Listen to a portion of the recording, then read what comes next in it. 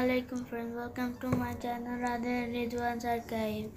In this video, I'm gonna show you how to make a butterfly. You need to take paper, scissors, ruler and pencil. Step 1. You need to fold it from the top.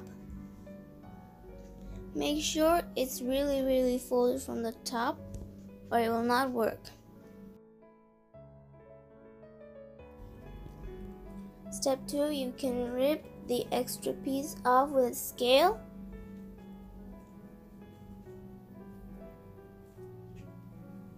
Or you can use your hands to rip the extra piece off.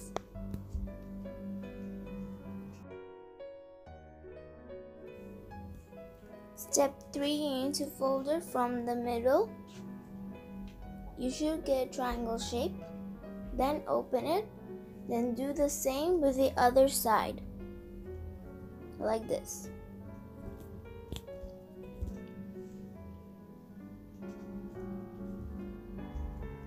Step 4, you need to fold, you need to get a triangle shape like this.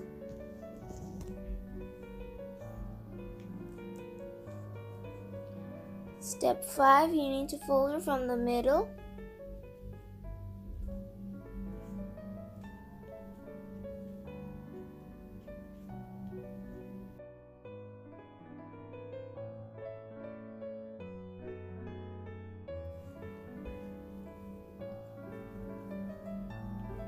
Step 6 you need to mark it from the edge but make sure it's a very small mark.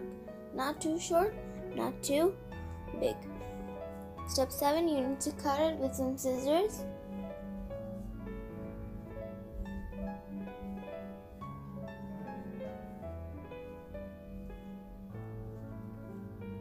Step 8 you need to open it and take it both sides from the middle and fold it.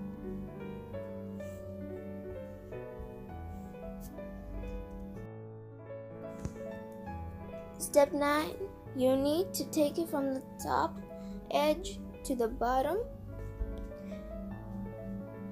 Butterfly is ready.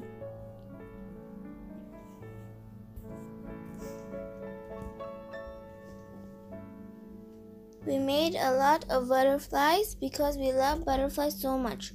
Thanks for watching and don't forget to subscribe to my channel. Bye.